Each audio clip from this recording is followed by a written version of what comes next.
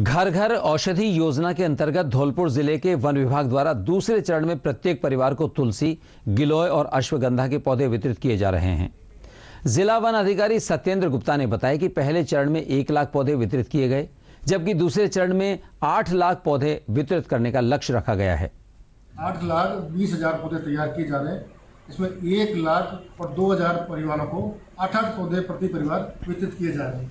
इसमें प्रथम चरण में एक लाख पौधे वितरित किए गए हैं। द्वितीय चरण जो एक अक्टूबर से आरंभ होगा, उसमें सात लाख बीस हज़ार पौधे, नब्बे हज़ार परिवारों को वितरित किए जाएँगे। तेईस सौ साठ किट का वितरण अभी तक हो चुका है और आपके आगे किट तैयार रखी हुई है।